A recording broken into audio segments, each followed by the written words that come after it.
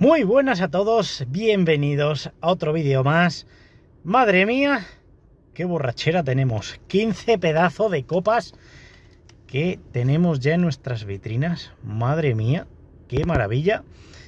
Y qué alegría poder disfrutar, en este caso concreto con mi hijo, de esta pedazo de final. Que mi hijo todavía no ha cumplido el año y ya ha visto al Madrid ganar. Voy a tener un problema.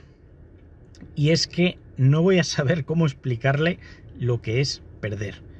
Obviamente perderemos, perdemos muchos partidos, claro que sí.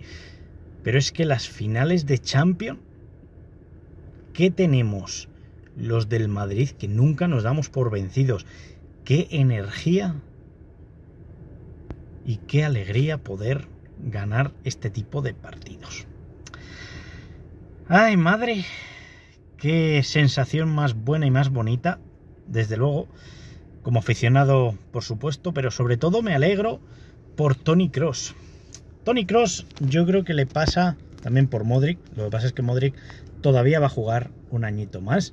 Por suerte nos va a poder deleitar con ese fútbol que tiene esta próxima temporada.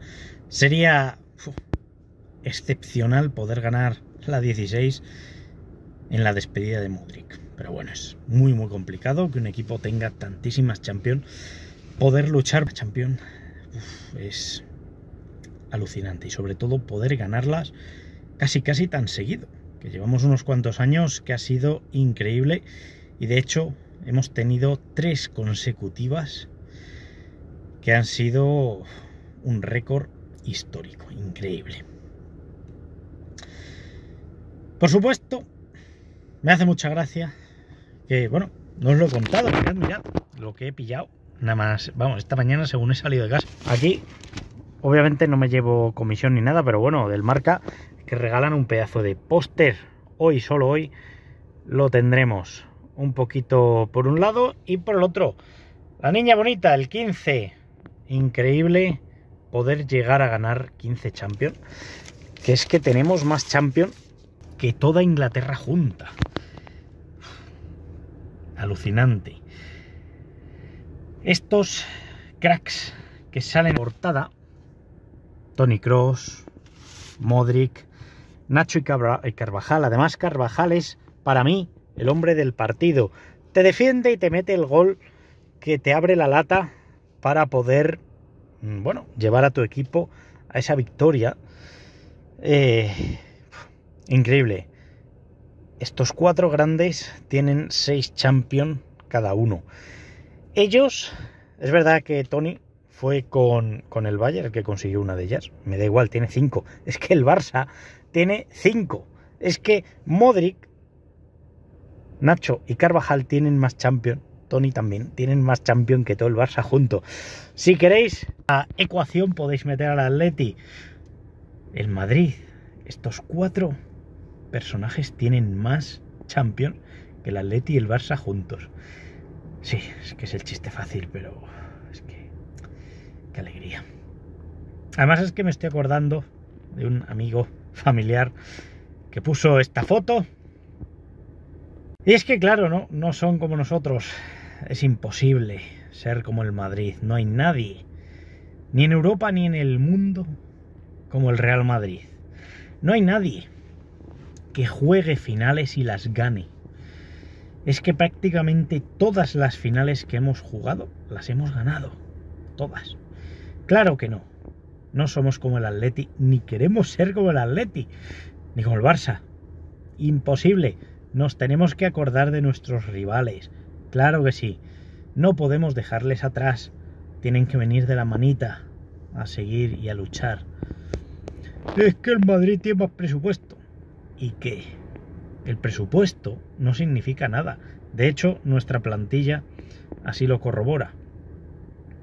El Barça ha hecho palancas, ha hecho chanchullillos por ahí, que de hecho, fijaros que han archivado lo de Negreira y archivar eso no significa que no hubiera chanchullos y pagos a los árbitros.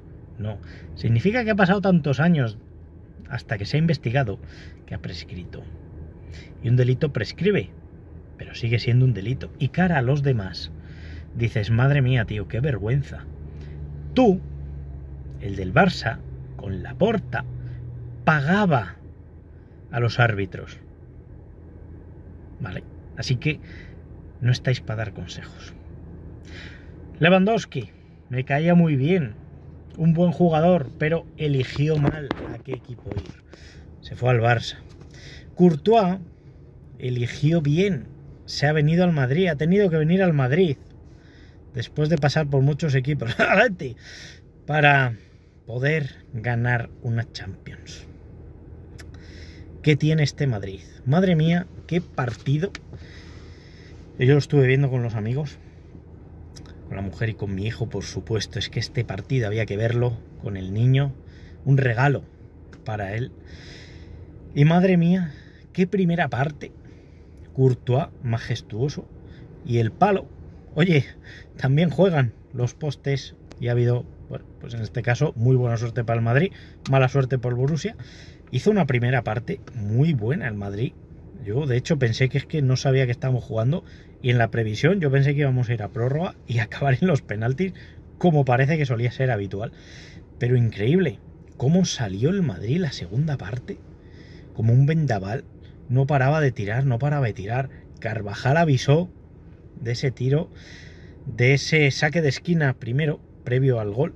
Avisó de que iba a meter un gol y yo de hecho así lo vi, yo creo que muchos madridistas lo vimos y llegó ese pedazo de gol de Carvajal. Le gana en altura, le gana en salto. En altura no, más bajito, pero le gana en salto para llegar a rematar y meter ese golazo. Y luego el segundo, pues bueno, Vini, que no estuvo nada acertado durante el partido. Pero hay que decirlo, hizo una primera parte bastante mala. Pero fíjate, la segunda parte llegó y metió el segundo. Me quedé con ganas de que José Lu o Lucas Vázquez metieran el tercero. Habría estado muy bien, se lo hubieran merecido, sobre todo José Lu, que nos ha llevado a la final directamente, haciéndose él solo un partidito, metiendo varios goles. Increíble. Canteranos, chavales que empiezan y que vienen, sangre joven que empieza a jugar en el Madrid y que ese espíritu, ese sentimiento y ese escudo ya lo sienten y lo llevan dentro. No, es que solo los del Atleti tenemos la afición.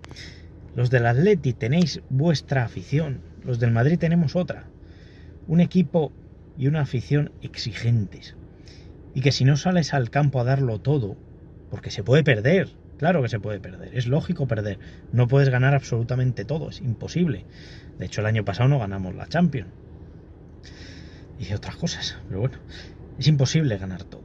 Pero una cosa es luchar y dejarte la piel para ganar y no ganar porque el otro equipo sea mejor. Y otra cosa es no hacer nada y perder. Eso es lo que en el Madrid no consentimos. Los aficionados del Madrid tenemos un estatus de fútbol aquí. Está por encima.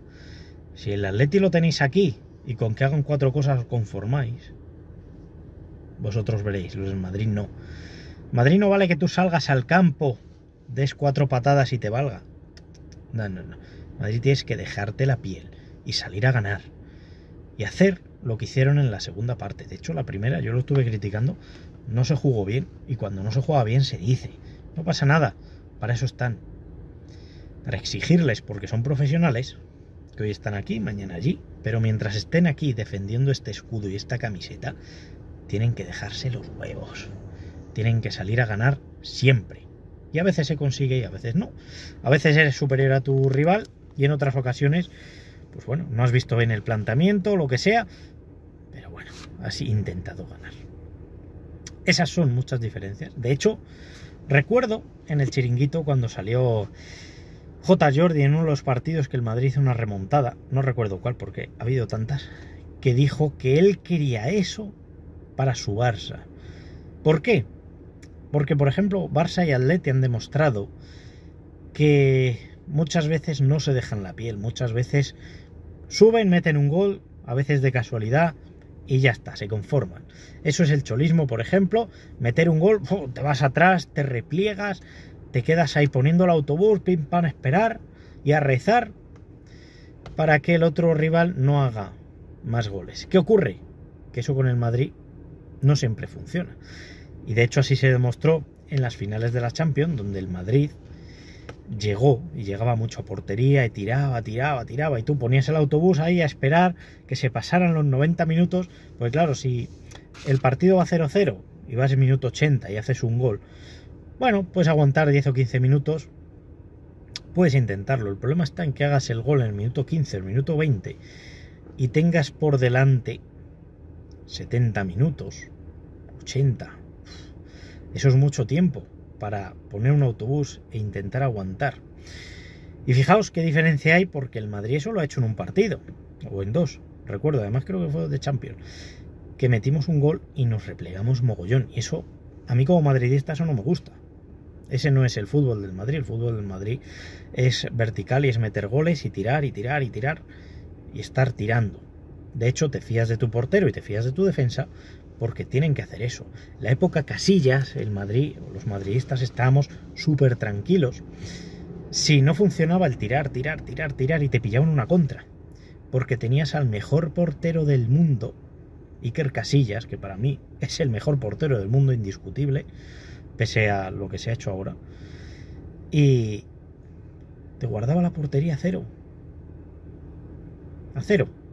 Y decías, bueno, van a ir a portería. Bueno, está San Casillas, no hay ningún problema. Eso es lo que hace un buen portero en el Madrid. De hecho, es lo que hizo Courtois en esta final de Champions. Se hizo unas paradas alucinantes. O sea, hizo un trabajo espléndido Courtois. Creo que desde aquí merece una felicitación como portero sensacional. Por supuesto, tener a Lunin que Kepa también es garantía. De hecho, Courtois, que ha estado lesionado prácticamente toda la temporada, ha estado ahí Lunin. También fantástico, yo creo que ha hecho partidos muy buenos y de hecho en la liga es donde se comprueba cuando haces partidos regulares, temporadas regulares, donde se ve si lo ganas o no lo ganas al final. la liga depende de muchos factores también. Es de hecho la competición que dura toda la temporada y es donde ves realmente si un equipo, pues oye, ha tenido altibajos o ha tenido una constante de victorias o de no perder durante toda la temporada. Pero bueno, muy contento con el partidazo que se hizo y con haber ganado la 15. Qué maravilla y como madridistas estamos ya pensando en la 16. Ayer fue la celebración y oye, esto ya ha pasado. Tony Cross, que desde aquí le deseo lo mejor en su retirada, que yo creo que no hay mejor retirada en el mundo que retirarte en el Real Madrid y además con una Champions. Es que es tu último partido de blanco y ganas la Champions. Y además, creo, si no recuerdo mal, el, gol de Carvajal fue a pase de Tony Cross, con lo cual le da un mérito alucinante, increíble. Y para mí no puede haber una despedida mejor. Espero y confío que el Real Madrid le haga la despedida que merece un jugador así. Con Modric el año que viene espero lo mismo.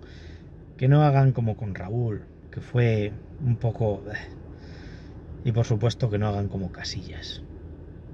Con todas las polémicas que pudiera haber, tal, Casillas dejó una impronta en el Madrid como el mejor portero del mundo y de la historia. Y para mí no se le trató como se debe tratar a un madridista de verdad. Y espero que con Cross sepan hacerlo y le hagan la despedida y el homenaje que se merece. Porque tener seis Champions y haber ganado cinco con el Real Madrid después de diez años en el equipo, en el club, en esta institución, en esta empresa, creo que merecen algo más que lo que se le ha estado haciendo. Por supuesto, esta ha sido la final de Tony Cross, porque ha sido el auténtico eh, partícipe, tanto en la celebración que se hizo en el Bernabéu, como en Cibeles, como con la imagen de portada, en este caso del marca, que va a quedar aquí para el recuerdo, me parece alucinante. Pero bueno, ya veremos, a ver si se le hace la final, porque ahora está la Eurocopa, entonces creo que también la juega. Entonces, bueno, su cuelgue de botas vestido de blanco, Real Madrid y habiéndonos dejado la 15, habiéndose llevado a su palmarés un último trofeo que por desgracia no va a poder continuar porque quien gana la Copa de la Copa de la Liga y quien gana la Champions luego juega más cositas, así que es una pena no tenerle con nosotros. Desde aquí, te deseo lo mejor, Tony Cross. Gracias por todos estos años de títulos y de enseñarnos lo que es el valor del Real Madrid. Ese valor como persona que te hace madridista y que te hace jugador, igual que a tu compañero Modric. Yo creo que tanto Modric como Cross, Carvajal y Nacho seguramente también, lo que pasa es que son muy jóvenes, les queda mucho fútbol. Yo creo que sois dos personas que habéis transmitido muy bien lo que es el sentimiento madridista, lo que es ser madridista, sobre todo como personas, tanto dentro como fuera del, del club, y yo creo que todos, incluso hasta la gente del Atleti y del Barça, os va a recordar. Seguro que sí. Yo creo que sois aquellos como el espíritu de Guti, que queda en el Real Madrid. Guti era muy odiado fuera del campo, no por ser mala gente, sino porque era extremadamente madridista. Hacía unas jugadas y unos pases que eran como el tacón de Dios. Espero que os haya gustado. Y nada, nos vemos en el siguiente. ¡A la Madrid! Y nada más.